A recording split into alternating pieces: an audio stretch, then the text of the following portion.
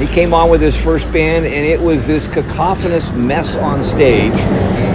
That's when I realized, oh, this kid does it the same way I did it. I've been at the Phoenix now for 30 years because I'm too stupid to know what I'm doing won't work. Happys is a small band that people did not think would get as far as it did.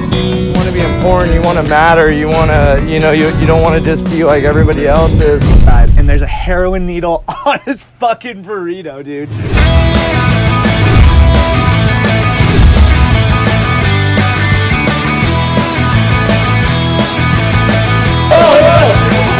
Hey, dude, he threw my shit to the ground, dude. Hey babe, what you doing? I don't care, just where she's Fuck going. you, listen to come Happys, around, dude. my mind to keep me nice, to keep me warm. I cut the road.